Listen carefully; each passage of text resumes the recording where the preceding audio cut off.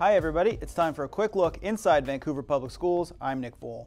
In February, Vancouver voters will be asked to pass two levies to support local students. There are a lot of numbers and a lot of things have changed when it comes to school funding, so we're going to break it all down for you. The first is an education and operations levy. It pays for basic programs and services, things like teacher salaries, classroom supplies, sports, music, special education, and more. The second is a uh, technology levy. It pays for classroom tech like tablets, computers, and also teacher training. Neither of these levies are new. They are replacing current levies, which are set to expire. Let's take a longer look at the Education and Operations Levy, or E&O.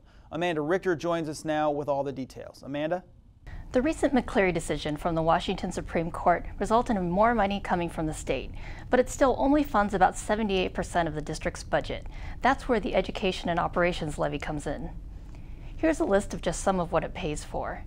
These things are everyday expenses, things that make schools better places to learn for students. It includes teacher and staff salaries and more, and it has a major impact on class sizes. The state funds 28.7 students per teacher at the high school level. So anytime you see a class size that's lower than that, you know that it's education and operations levy that's providing for that lower class size to meet the unique needs of that student group. As you may have noticed, the levy pays for things that our community expects of its schools. Here are some examples. The state only pays for about four safety and security and nursing positions for the entire district. VPS has 37 buildings with students, so it uses levy funds to boost staffing. When it comes to services for students with special needs, the state funding falls about $4 million short of the legal requirement. Without a levy, we would really, really have to cut other programs just to meet those legal obligations. The levy also pays for non-academic programs that help students find success in the classroom. Anytime you talk about athletics or band or some of our Knowledge Bowl, um, debate team, those are all um, exclusively funded by the Education and Operations Levy.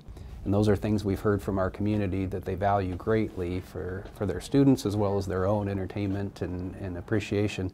Um, the state provides zero dollars for those activities. So what is the rate, especially now with the change to the state formula? The levy will cost $1.50 per $1,000 of assessed property value. That number is capped by the state. For a comparison, the current levy, which will expire in 2019, is $2.64. That means the local rate you're paying will be less than before. Vancouver has a long history of supporting local schools through its levies.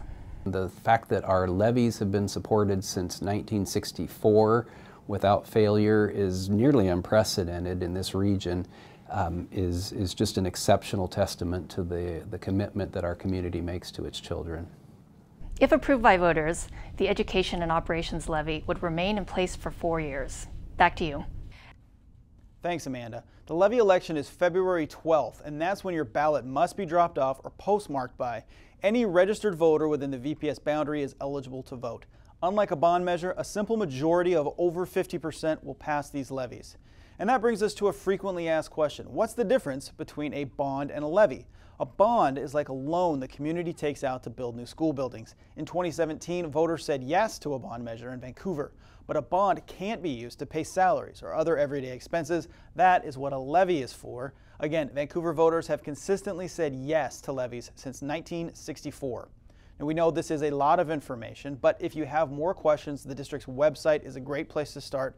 Head to vansd.org slash levy. You'll find the numbers, the formula to calculate how much you'd pay, frequently asked questions, and a whole lot more. There's also a link to submit a question if you don't find what you're looking for. Again, vansd.org slash levy. Hey, check this out. Let's see one of our favorite social media posts of late. This one comes from Sacajawea Elementary. LSW Architects and Seize the Bagel sponsored a Books and Bagels event to bring families in for breakfast and free books for the kids. What a great way to encourage reading and to get parents into the classroom. Nice job to the Skyhawks. And if you are on social media, why not connect with Vancouver Public Schools? We are on Facebook, Twitter, YouTube, and Instagram. Until next time, I'm Nick Fuller.